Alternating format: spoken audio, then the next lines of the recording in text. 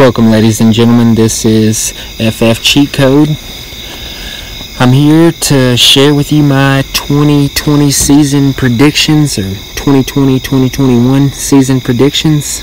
Um, I hope you like what I have for you today. Um, this is going to be just a part one of most likely a four a four parter, but. Um, I'm going to go ahead and get with it. Uh, move through as many as we can. Um, follow me, like, share, subscribe. Check me out on Twitter, please. I'm trying to build a following there too at uh, FF Cheat Code Express. Thank you.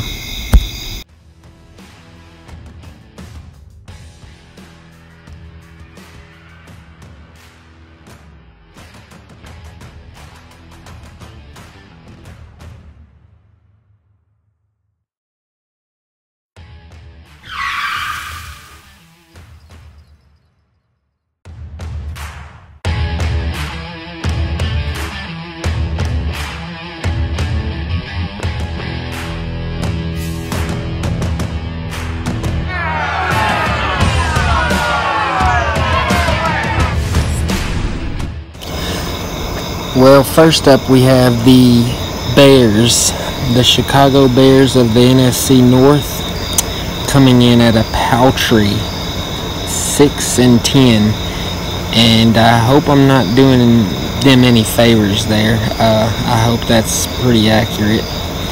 I'm just kidding. I think the Bears, they'll be all right, but they'll have a higher pick in the draft next year they brought in Nick Foles to uh, compete with Mitchell Trubisky this year. It looks like he couldn't even beat out Mitch. Um, so I don't know how that's going to go, if they'll be flip flopping back and forth. But if he couldn't beat out Mitch with like 100% ease, then, you know, is he even any better? Um, I hope for fantasy football purposes that doesn't really affect uh, Allen Robinson.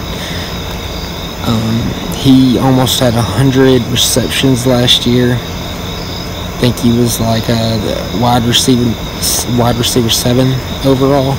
Um, pretty excited about him.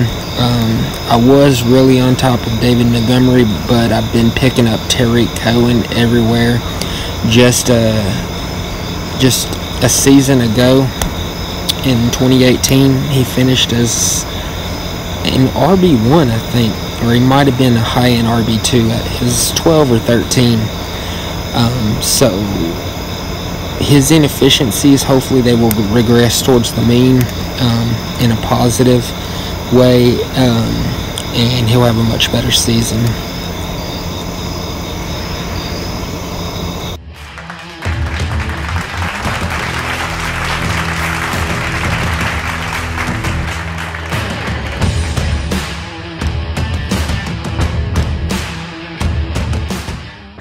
Aaron Rodgers, you know, still there and still, you know, an awesome player.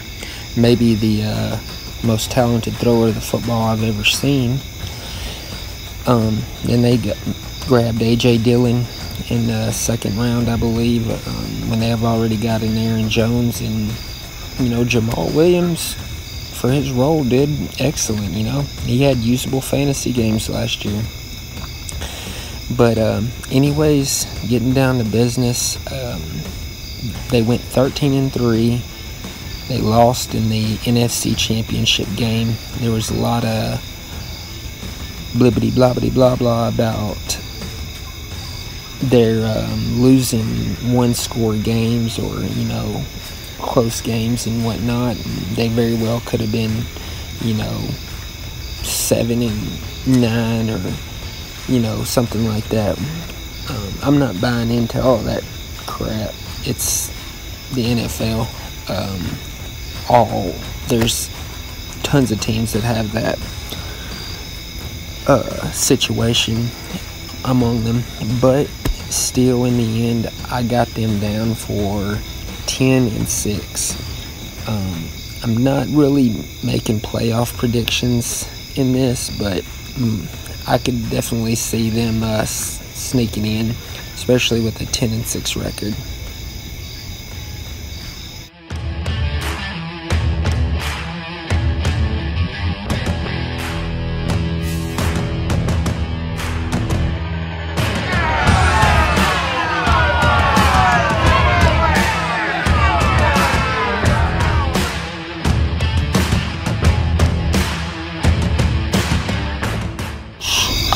Awesome draft in my opinion. With the uh, unreliability of uh, on Johnson, the drafting of D'Andre Swift was, you know, pretty pretty good to me. Um, he was a lot of people's number one running back, even over you know Jonathan Taylor and the, uh, of course, J.K. Dobbins, who didn't participate, but they did lose Darius Slay but Slay was unhappy and maybe that could have been affecting his place, so they turned around and third overall drafted Ohio State's Jeff Okudah. Really, really excited about that. You know, there was a lot of speculation if they got, you know, um, traded up or whatnot. Um, maybe losing Stafford and grabbing a QB, blah, blah, blah. No, they got a defensive dynamite shut down corner in my opinion. Well, alright, let's move on.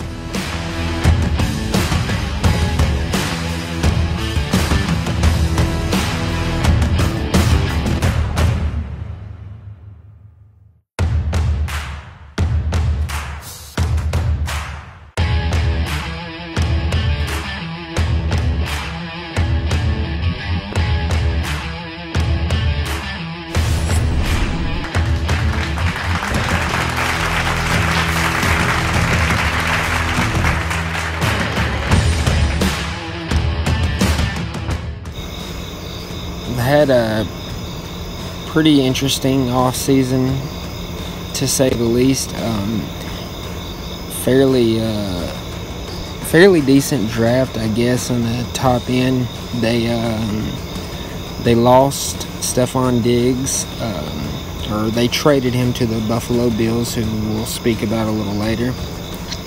Um, they still have Adam Thielen. And they have their newly acquired uh, Justin Jefferson, last year's uh, Irv Smith, and um, Bisi Johnson. I got them coming in, um, most likely winning their division too at 11 and 5. So we'll see.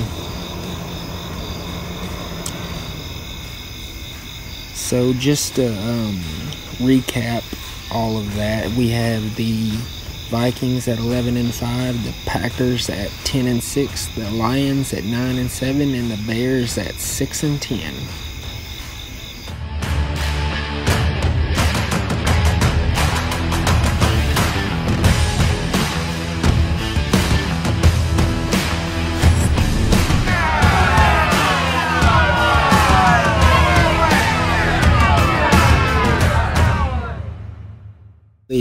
Newest edition Todd Gurley led Falcons. That's, oh, I knew I was forgetting somebody. We forgot old Hayden Hurst, uh, second round draft pick trade for um, a first round draft choice of the Baltimore Ravens. Um, as usual, I expect this team to be high flying like a Falcon would be. Um, Still don't know about their defense. Um, of course, uh, Todd Gurley's questionable. You know, um, I believe in him, honestly. I think he's fine. Um, Brian Hill seems to be the handcuff. Uh, everyone and their mother has Calvin Ridley pegged as the Chris Godwin breakout. Um, just to keep this moving, I got them pegged at let's see. We have them pegged at nine and seven so that may not be enough to keep their head coach uh, Dan Mullen. Um, but we'll see.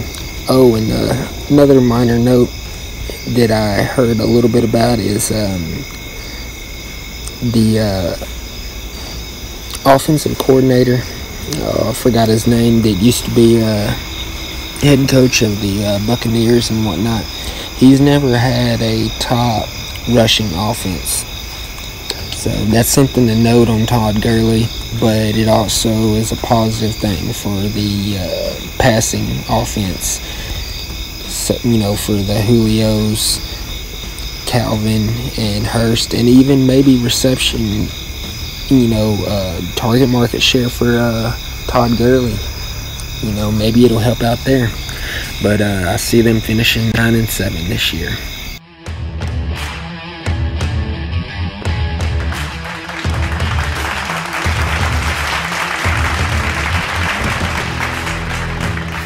It's the New Orleans Saints. It's a solid team all around.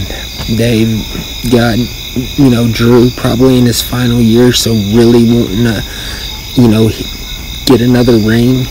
So you know they're going to be playing hard. Um, they've got Alvin. Um, they're closing in on an extension for him, as far as I can see. Uh, of course, Michael Thomas led the NFL in pretty much any receiving stat you can think of. Um, Jared Cook uh, was a tight uh, was a top tight end prospect for most of the latter games last year. Um, defense, you know, it's usually takes them a minute to get going, but they turn out to be a tight defense. Um, I did see a little bit about Sheldon Rankins maybe trading. I don't know. Um, that'd be a really, really bad loss for them. Um, but yeah, if you have kickers and defenses, you know, Lutz single, you know, all year. I had him last year. Loved him. But I have them going, um, tie-in uh, for the division lead with the well I'm not gonna say who save that for next um, but 11 and 5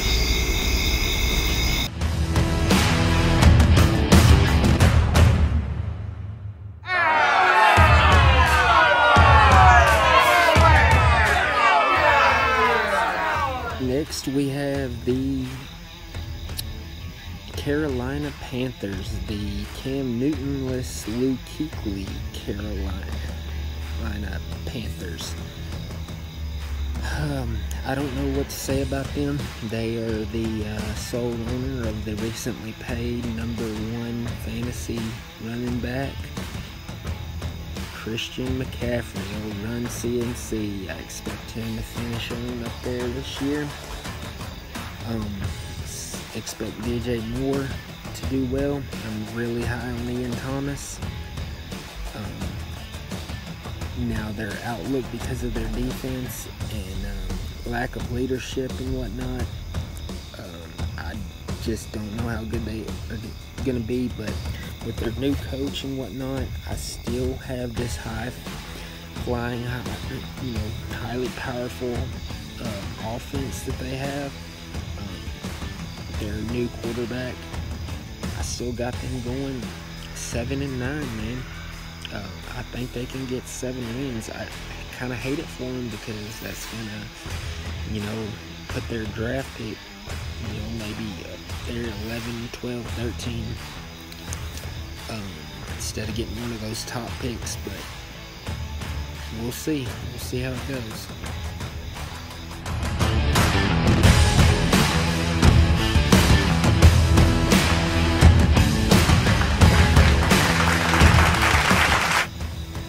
Last but certainly not least, the newly revived Tom Brady led Tampa Bay Buccaneers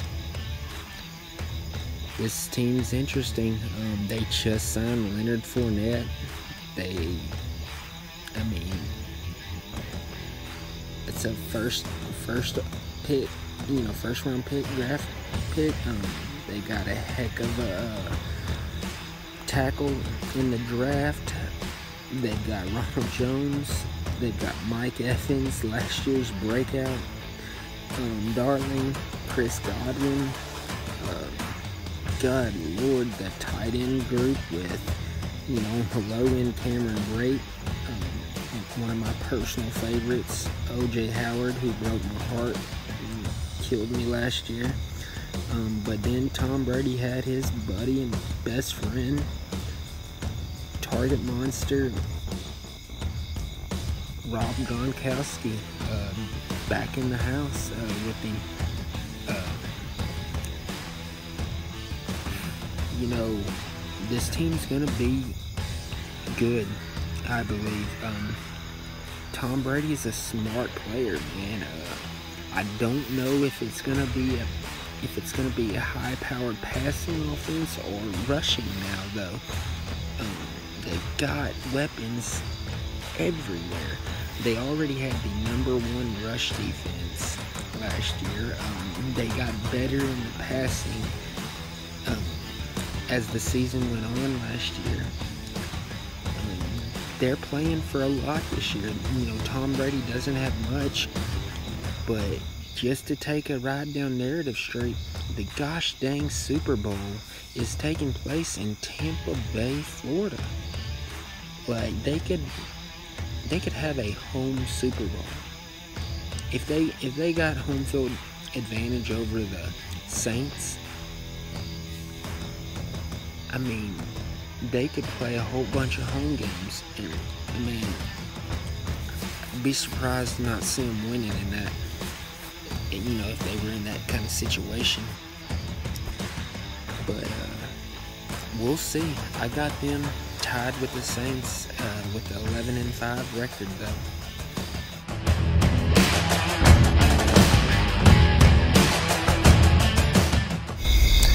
Well, guys, that's going to sum it up for today. This video started to get a little bit longer. Um, letting me know I'm probably going to have to break this down into a three or four parter. Um, we'll definitely conclude the NFC um, in the next video um, maybe start some of the AFC. Um, I hope you liked what what I've uh, predicted here. Um, we'll go back and review all of it. First off, we had the uh, Bears at six and ten, the Lions at nine and seven, the Packers at ten and six, the Vikings at eleven and five.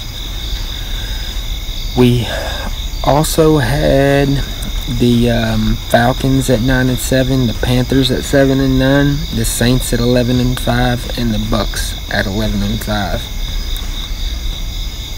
Let me know your predictions down in the comments. Um, like and subscribe. I'm kind of new to this, obviously. Just trying to have fun, really. Um, I'm doing a lot of this just uh, for my leagues, but I'd like to see where it goes. Um, I hope the YouTube market isn't oversaturated. I hope there's enough of you guys for me too. I'm not necessarily after money or anything. Just think it'd be self-fulfilling to have something, you know, that people want to listen to and value. I have much, much better um, in-depth fantasy analysis on on the way, but because of the season getting close and I mean we're right up on it, I wanted to go ahead and put this out there. Um, stay tuned uh, for parts two through probably four uh, tomorrow. I'll have them up. Thank you guys. Uh, remember Fantasy Express on Twitter, on Twitter, um, Instagram, all that. You can find me. Please check me out. Please share the video, like it, subscribe it. Thank you.